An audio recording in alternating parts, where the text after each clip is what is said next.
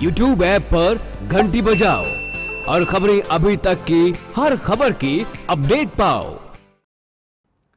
तो देश भर में किसान 10 दिन के आंदोलन पर हैं और आज किसानों के आंदोलन का दूसरा दिन है। हड़ताल के पहले दिन सुबह ही राजस्थान, पंजाब, हरियाणा और महाराष्ट्र में किसानों ने प्रदर्शन किया। किसानों ने विरोध स्वरूप दूध और सब्ज़ियाँ सड़कों पर फेंकी।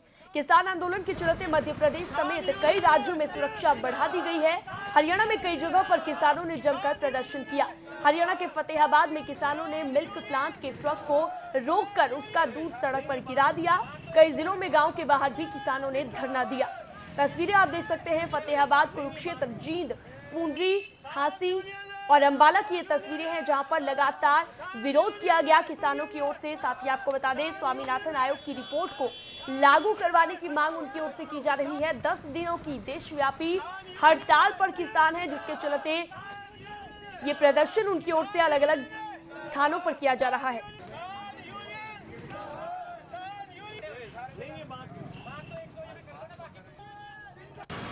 देखिए, आज से पूरे देश में आंदोलन है और बड़ी बात यह है कि देश के एक सौ बहत्तर किसान संगठन एक मंच पे आगे हैं ये आंदोलन करने के लिए। राष्ट्रीय किसान महासंघ ने ये आंदोलन शुरू किया। बहुत से संगठन साथ जुड़ते जा रहे हैं। पूरे देश में तीन मांगों को लेकर आंदोलन है।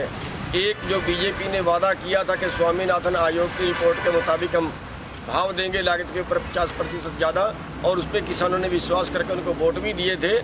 लेकिन अब रेट नहीं दे रहे तो वो मांग है कि लागत पे 50 प्रतिशत मुनाफा सभी फ़सलों दें उसमें सब्ज़ी और दूध भी शामिल करें और उसकी खरीदने की गारंटी भी हो। और दूसरी मांग है कि पूरे देश के किसान कर्जे में दब गए हैं, सुसाइड कर रहे हैं, पूरे देश के किसानों को, चाहे छोटा किसान है, चाहे बड़ा किसान है, कर्जा मुक्त करें सभी को। और तीसरा है कि सभी की एक सुनिश्चित आमदन हो, चाहे वो देश का कोई भी नागरिक हो, ज़िंदा रहने का वाला आमदन तो सभी की होनी चाहिए।